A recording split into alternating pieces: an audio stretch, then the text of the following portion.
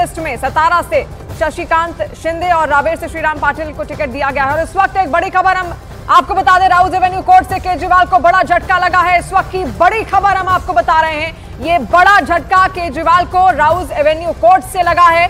लगातार जो मामला है वो कोर्ट में चल रहा है और कल भी हाईकोर्ट ने इसको लेकर एक फैसला दिया था। और अब राउज एवेन्यू कोर्ट से भी केजरीवाल को ये बड़ा झटका लगा है।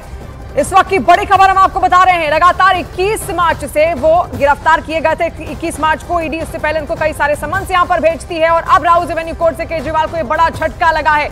आपको बता दें वकीलों से मुलाकात बढ़ाने वाली याचिका यहाँ पर खारिज कर दी गई है। वो लगातार वक्त मांग रहे थे, उनकी ओर से याचिकाएँ कई बार डाली जा रही थी अपनी अरेस्टिंग को लेकर, अपनी रिमांड को लेकर भी उन्होंने हाईकोर्ट में याचिका डाली थी, जो कि कल खारिज कर दी गई थी। और अब राउज एवेन्यू कोर्ट से भी केजरीवाल को यह बड़ा झटका, वकीलों से मुलाकात का वक्त बढ़ाने का जो समय था, जो याचिका उनकी ओर से डाली गई थी, वो खारिज कर दी गई है। यानी कि जो वक्त पहले ही निर्धारित है, अब वही रहेगा। वकीलों से मुलाकात करने का भी वही वक्त रहेगा। इस समय बढ़ाया नहीं जा सकेगा, जैसे कि मांग केजरीवाल की ओर से लगातार की जा रही थी। और दीपक बिष्ट इस वक्त हमारे साथ फ़ोन लाइन पर जुड़ रहे हैं। दीपक, और क्या जानकारी?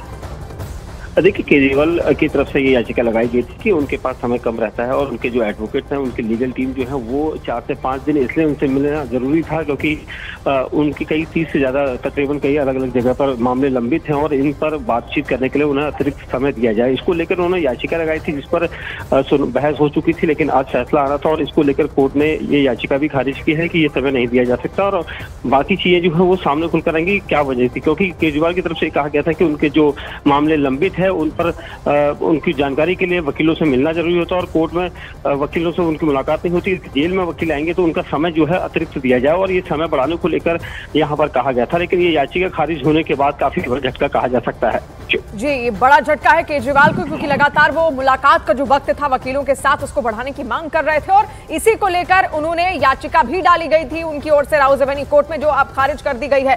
दीपक बिष्ट लगातार हमारे साथ जुड़े हुए हैं। दीपक, अब आगे का रास्ता क्या होगा? देखिए, यहाँ पर वक्त जो है काफ़ी तकलीफों भरा केजरीवाल के लिए है, लेकिन क्या कोई विकल्प अभी उनके पास बचा हुआ है? देखिए इसको लेकर वो ऊपर उच्च उच्च अदालत की तरफ़ जा सकते हैं लेकिन जिस तरह से यहाँ पर पूरी कार्रवाई हुई थी बहस हुई थी उसमें उन्होंने अपनी दलीलें रखी थी उनकी तरफ़ से वकीलों ने दलीलें रखी थी कि उनका जो है कई ऐसे मैटर्स होते हैं जिस, जिसमें डिस्कस करना होता है और इस वक्त केजरीवाल तिहाड़ जेल के अंदर हैं और इसको लेकर वकील अगर जितनी बार उनके पास जाएँगे तो उनसे मुलाकात करके बातचीत कर सकेंगे उन मामलों के दौरान लिए।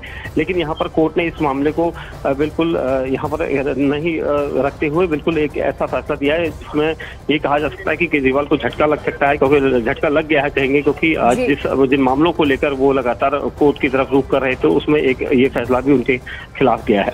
जी ये बड़ा झटका है आम आदमी पार्टी के अध्यक्ष केजरीवाल के लिए और खुद दिल्ली के सीएम केजरीवाल के लिए क्योंकि अब तक जो वक्त निर्धारित था हफ़्ते में केवल दो बार ही वो वकीलों के साथ मुलाकात कर सकते थे।